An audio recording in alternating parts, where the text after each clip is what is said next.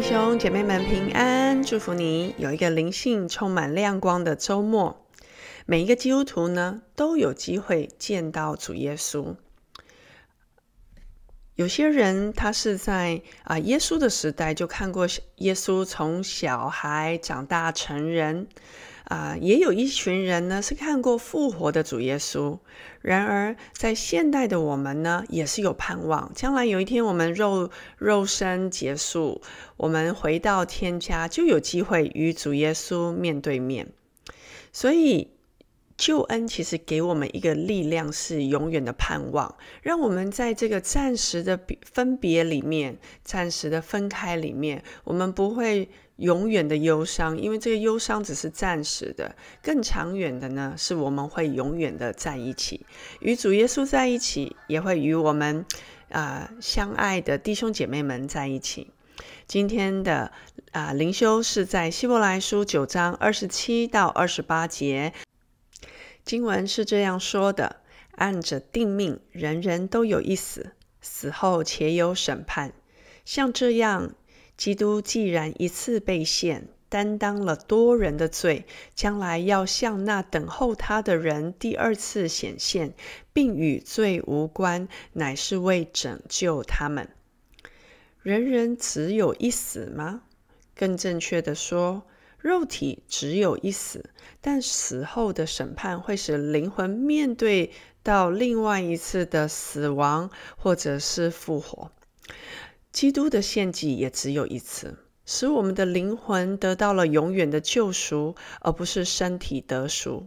我们的身体呢，是属于地上的东西，会变化、成长，最后毁坏。同样的，地上的房子也是会毁坏。然而，属天的事物不会朽坏。当我们的灵魂得到救赎，我们将永远的与主耶稣在一起，在天堂里，一个不毁坏的家乡。昨天我参加了一个姐妹的欢送会，她即将要启程搬去另外一个国家居住。她与我们分享了许多的不舍。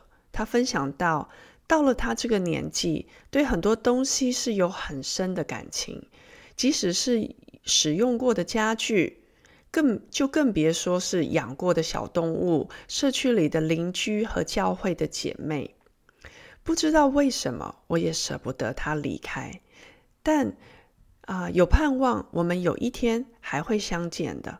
我的心中有平安，也可能是因为我不是那个要离开的人。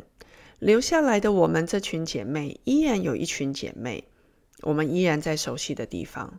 但离开的这位姐妹，她就必须要重新的去认识新的社区，找到新的教会，认识新的朋友。如果你也正在考虑要换一个新的环境，我想有一个重要的关键，就是你有没有看见神向你印证，你应该要换一个环境。暑假即将到来，有些弟兄姐妹都会面临着需要换学校、换工作或是搬家。你不需要担心未来将要如何，因为当有圣灵引导你前面道路的时候，你就会越来越清楚神在你生命当中的心意。这也是救恩对我们非常独特的意义。从我们信主的那一刻起，我们就要开始跟随着主的脚踪走人生的路，再从这个走人生的路走向回天家的路。